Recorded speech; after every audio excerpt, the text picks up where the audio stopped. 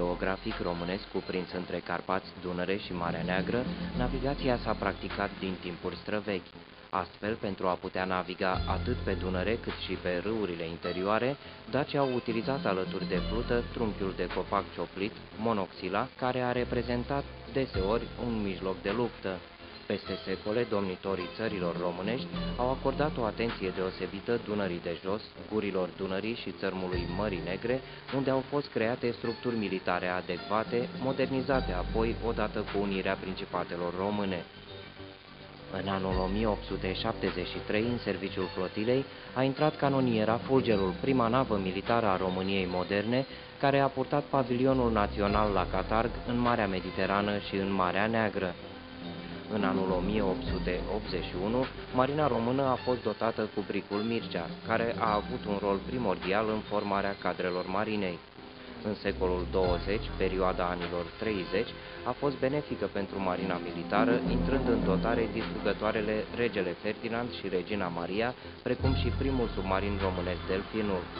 La sfârșitul anilor 70 și la începutul anilor 80 au fost construite o serie de nave militare maritime în șantierele navale românești, iar după Revoluția din decembrie 1989 au fost construite în șantierul naval Drobeta Turnu Severin monitoarele de tip nou.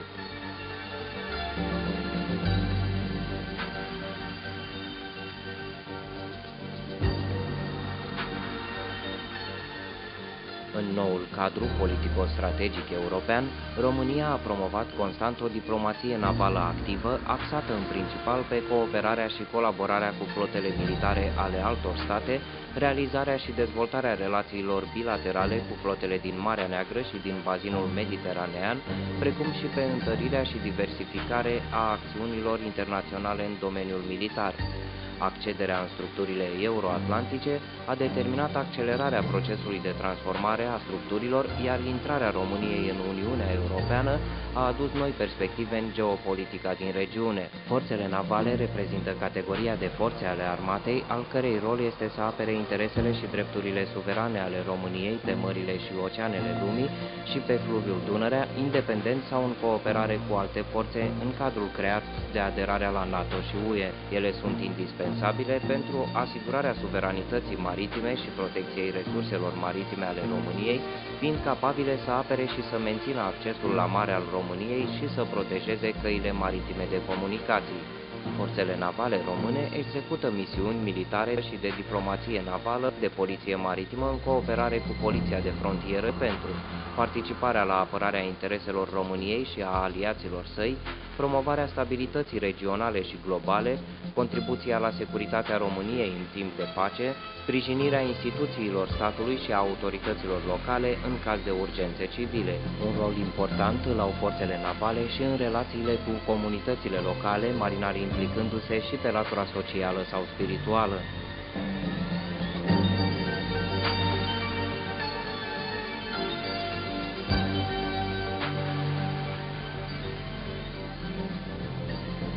Structura organizatorică a forțelor navale cuprinde statul major al forțelor navale, componenta operațională navală, comandamentul flotei, precum și unități și mari unități aflate în subordinea acestora. Forțele navale dispun de următoarele clase de nave de luptă și unități combatante aflate în subordinea comandamentului flotei. Astfel, la mare acționează flotila de fregate formată din fregatele tip 22, Regele Ferdinand și Regina Maria, fregata Mărășești, nava de suport logistic Constanța și grupul de elicoptere.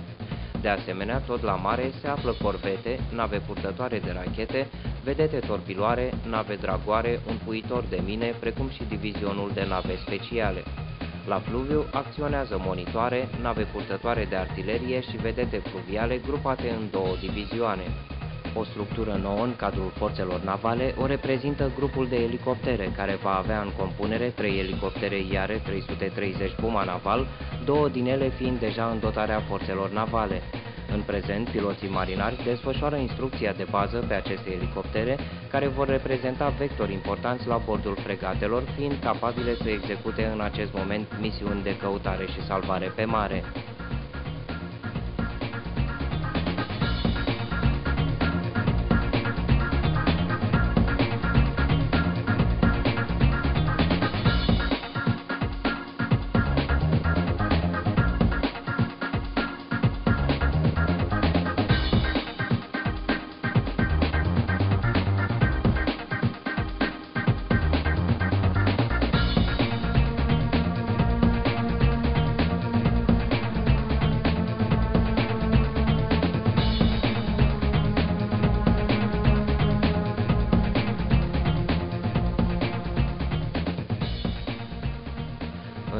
Structura forțelor navale se află și Centrul de Scafandri, Batalionul de Infanterie Marină, Centrul Radioelectronic și Observare, Direcția Hidrografică Maritimă, Baza Navală, Batalionul Stat Major și de Servire, Centrul de Informatică, Centrul de Instruire, Simulare și Evaluare, Centrul de Medicină Navală, Academia Navală Mircea cel Bătrân, fiecare cu importanța și rolul său bine stabilit.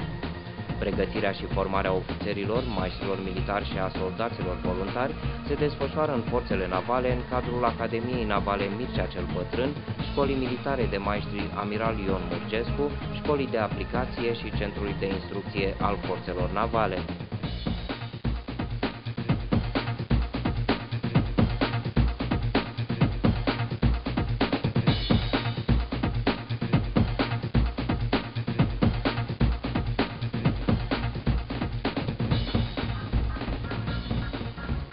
Componenta a Sistemului Național de Învățământ, Academia Navală Mircea cel Bătrân este o instituție militară de învățământ superior tehnic de specialitate, acreditată, cunoscută și recunoscută prin tradiție, valoare și eficiență, atât pe plan național cât și pe plan internațional, pregătind specialiști pentru forțele navale și poliția de frontieră, dar și pentru companiile de navigație și societățile navale și portuare formarea deprinderilor intelectuale, senzoriale, motrice, individuale și colective, necesare studenților și elevilor instituțiilor de învățământ ale forțelor navale, se realizează la bordul navelor școală, cea mai cunoscută fiind nava școală Mircea. Pregătirea forțelor ca proces prin care resursele umane, materiale și financiare sunt transformate în capacitate operațională, ocupă locul central în constituirea și menținerea unor forțe navale apte să satisfacă interesele militare ale statului român și reprezintă pentru statul major al forțelor navale o prioritate. Ciclurile de instrucție au un caracter multianual, de regulă mai mare de 15 luni, activitățile fiind planificate în continuare pe durata unui an calendaristic și nu se încep la aceeași dată de către toate navele, ci conform programării stabilite prin graficul planificării forței. În procesul de instrucție au fost implementate concepte noi, materializate în dispoziții de organizare, executare și evaluare a misiunilor pe mare și fluviu și în desfășurarea procesului de instrucție după programele de instrucție pentru misiuni. Începând cu anul 2007, s-a implementat un sistem de pregătire al echipajelor navelor cu instructori aparținând Centrului de Instruire, Simulare și Evaluare, după modelul statelor cu experiență în domeniu. Câștigul pe termen lung îl constituie posibilitatea aplicării cunoștințelor pe noile nave care vor intra în curând în serviciul forțelor navale.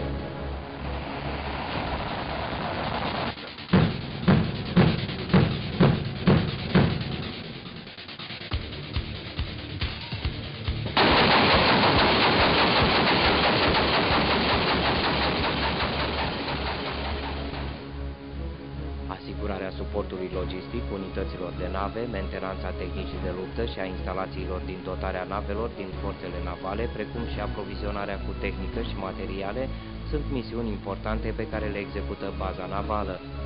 În același timp, Direcția Hidrografică Maritimă realizează asigurarea meteorologică a forțelor navale și funcționarea mijloacelor de semnalizare maritimă, editând și